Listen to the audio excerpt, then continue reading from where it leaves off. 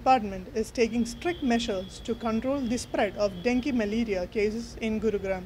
With monsoons around the corner, the Health Department is making sure the spread of dengue malaria is minimal. A dengue ward with around 30 beds have been prepared in Sector 10 of Civil Hospital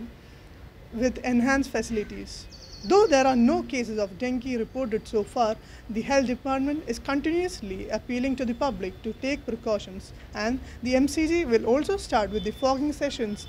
in suspicion of a rise in dengue cases. आ, अभी बारिश का season start हो चुका है और monsoon के आगमन जो है भारत के इस भाग में भी हो चुका है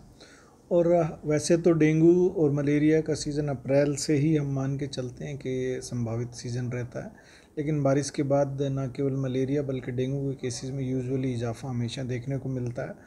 अभी तक कुल मिलाकर एक भी केस जो है गुरुग्राम में ना ही डेंगू का या मलेरिया का जो है वो इस साल रिपोर्ट या डिटेक्ट हुआ है। जबकि हम प्रति माह एक से दस तारीख के बीच में फीवर का मास सर्वे जिसको कहते हैं वो हम कर रहे हैं फीवर के केसेस को लेके। और कुल मिलाकर अप्रैल से लेके अब तक, यानी अप्रैल, मई, जून और जुलाई के अभी तक के सात दिनों में हम कुल मिलाकर तेरह लाख से अधिक घरों में हम सर्वे कर चुके हैं, जिसमें तकरीबन हमने सवा लाख से ज़्यादा हमने स्लाइडें प्रिपेयर की हैं और अभी तक कोई भी डेंगू या मलेरिया का, जैसे मैंने पहले बताया, केस डिटेक्ट नहीं हुआ।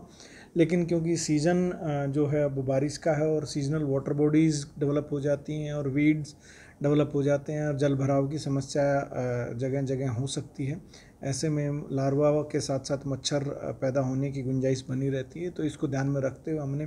डिस्ट्रिक्ट टास्क फोर्स की मीटिंग की है, जिसमें सभी विभागों के साथ, चाहे वो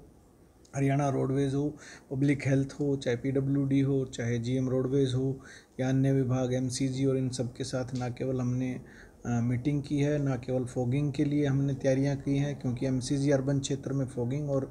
ग्रामीण क्षेत्र में हमने बीडीपीओ के माध्यम से सभी गाँव में, जैसा आपको विदित है कि फॉगिंग मशीन उपलब्ध कराई हुई हैं। उसके लिए हेल्पलाइन भी हमने नंबर जारी किया हुआ जो डीसी ट्विटर हैंडल पर भी आप देख सकते हैं, और मलेरिया के लिए भी हमने हेल्पलाइन नंबर, ये दोनों आप हमारे एडमिनिस्ट्रेशन साइट पर आप देख सकते हैं।